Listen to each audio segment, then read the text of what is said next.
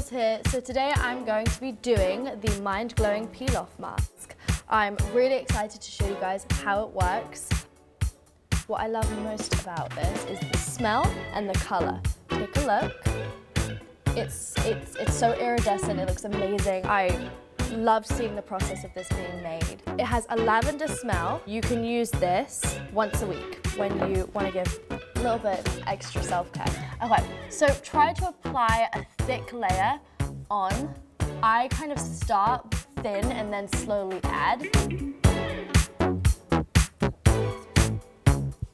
Okay, so try to avoid your hair so that when it dries it is actually very sticky and will peel off.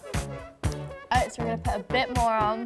You want enough to peel off. Let's do a little bit more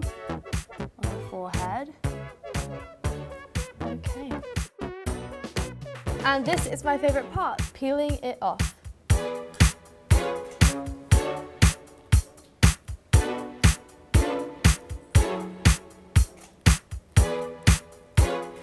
Okay, so now you can just wipe off all the residue. My skin feels brighter, purified, and I feel like I'm glowing.